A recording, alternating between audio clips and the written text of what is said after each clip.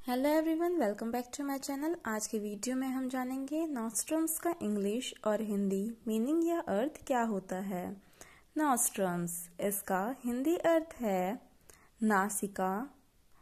वहीं इसका English meaning है a medicine prepared by an unqualified person specially one that is not considered effective आइए इस example से समझते हैं। He criticized such right-wing nostrums as wage fridge or cuts in public spending. यहाँ पे nostrums का मतलब नासिका से है।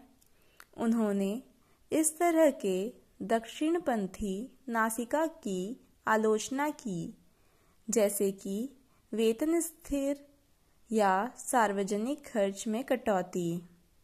तो आज के वीडियो में इतना ही। Thank you so much for watching my video.